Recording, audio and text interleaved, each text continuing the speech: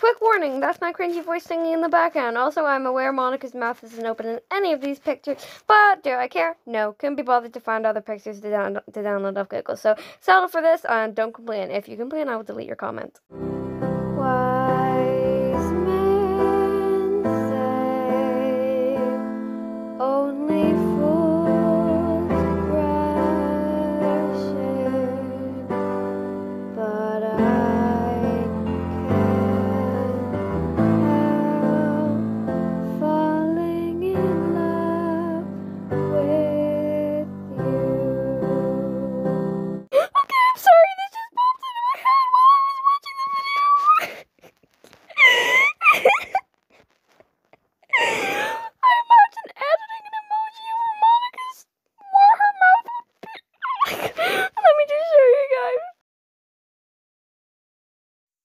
I don't know why that popped into my head.